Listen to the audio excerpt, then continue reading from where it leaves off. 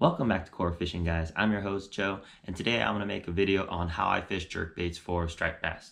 Right now the striped bass are in full run. They are in full spring spawning mode and they are running up the California delta right now and a lot of people are targeting with jerk baits.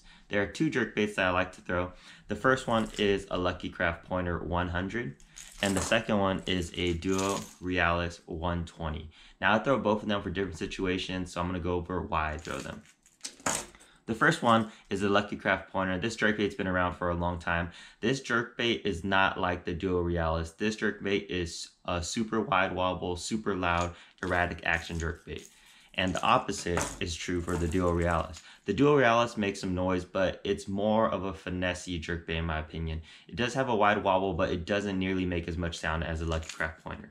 I throw both of them, it just depends on the day. Sometimes they want the Duo, sometimes they want the Lucky Craft. I carry both of them because they're both different jerk baits.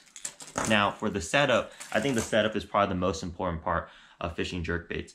I like fishing a seven foot two medium uh, casting rod. I don't like a medium heavy. I like using a medium power rod because jerk baits, if you look at them, have a lot of treble hooks.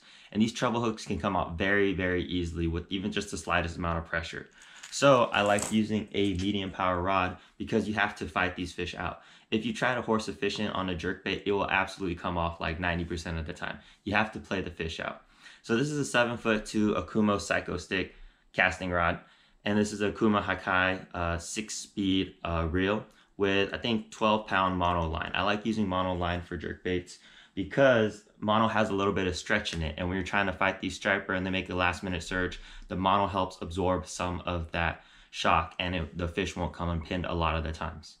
In this video, you're to see me doing some recent California Delta fishing, and I'm to voice over some of the parts so I show you how I work the jerkbait and how I think it's best to use the jerkbait. Remember, as always, if you like the video, smash that like button and subscribe to the channel. In this first clip, I want you to notice the action that I'm using my jerk bait. I do a twitch, twitch, pause, which means I snap my rod two times and give it a quick pause in between. This is the action I use about 90% of the time I'm fishing a jerk bait. It works really good. As you can see, it triggered this striper to bite. I do this twitch, twitch, pause motion a lot. It works. I think it's super effective. And a lot of times the fish bite on the pause as I fight this engine, I'm taking my time because they are triple hooks and they come out really easy. And then I catch this nice striper, and the worst part of fishing a jerkbait comes, and that is dealing with uh, the treble hooks, especially stripers that are shakers like this. As you can see, the striper's just going like crazy, and it's just shaking on the floor.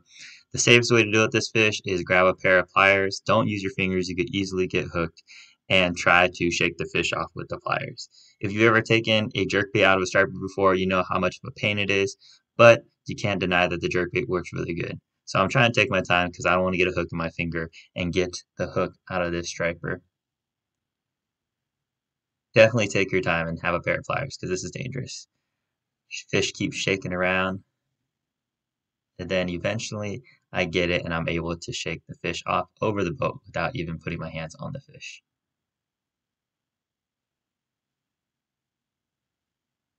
Safely released. In this next clip, I want you to notice how I continue to work the jerk bait back and forth, back and forth. And what you're going to notice is I actually missed the first bite that the striper makes. And I continue to work the bait because second and third strikes are very, very common, especially with stripers and uh, largemouth bass. So I keep working and I hook it. This happens a lot with the schoolie size trappers. A lot of times they'll hit it the first time, miss it, and they'll come back and get it. They really want to hunt this bait down. Again, once again, not a huge striper, another shaker striper, but important and safe to know. Take your time, use a pair of pliers. Don't use your fingers. I don't know how people use their fingers. This is dangerous. There's so many hooks there. Um, and just shake the fish off. I missed the first time, and then I'm able to shake the fish off the second time.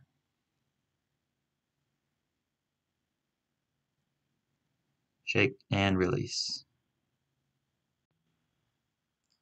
From here on out, you're just going to see me fish the jerk bait a little bit, catch some fish. Hope you guys enjoy the video. Yeah. I was like, what's the name by Apple? He's on Alameda. Oh, there's one. Nice. Just like I was saying. Yep. if I was a fish, I'd be right behind that eddy. Yep. Ooh, ooh, fish on, guys. I think the biggest one so far. This one I actually might need a net for, but man, I hate using a net with the jerk bait. uh, you look good. Keeper. Oh, that's a keeper. I don't even need to measure it. No, that's a keeper. Check out that fish, guys. Nice one. That's probably like a 18, 20 inch on that Duo Realis 120. Killing it. Answer? You know what I mean? That's how I was like, oh, that's fair enough answer. Like, Like, I'll take it. I was like, close enough. oh, oh, got one. There you go. Right where it's supposed to Right where it's supposed to be. Uh, it kind of came to the surface. Might be a bass.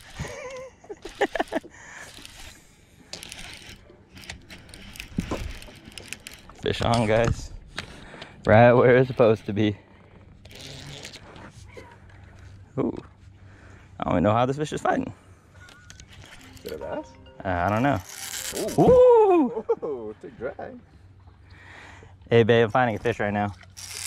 Oh, okay. I Okay. was gonna say you get to eat the fried rice. Oh, no, I didn't. I just cooked green rice. Okay, love you. I'll be home later, okay? Yep. Bye. Okay, bye. Oh, what the heck is this? Oh, it's a striper. Ooh, another keeper one. I think it's I have no idea. Three. Yeah.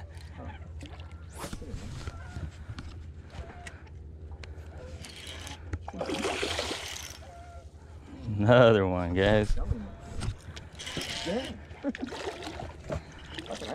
Yeah, it's a keeper for sure. All right, going for the boat flip. Ooh, dang, I don't know about that. Never mind. Think twice, guys. I think twice about that boat flip. That's a good eating size. Oh, you should let more line out. Oh, good. Look at this. Right over here. Yeah, I wonder how deep it is over here. I don't It's know. pretty deep. Oh, you're at 9.2 feet. Oh. Look at that, guys. Another nice one on that uh, Duo 120. Killing it. In this last clip, it's not a jerkbait fish, it's a topwater fish, but topwater is my favorite, so I decided to put it in. Look at that. My buddy Charlie's on. All right, Charlie, I'm filming you. Wait for it to load up.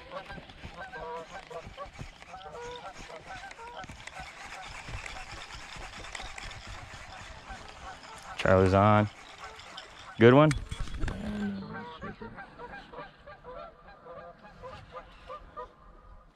Oh, That's a, that's not a shaker. That's a that's a schoolie. Look at that. Solid one. That's like 20, 22 inches at least. Oh yeah, that's a nice one. That's a good one. Hope you guys enjoyed the video. As always, guys, remember if you like the video, do me a favor, smash that like button and subscribe to the channel.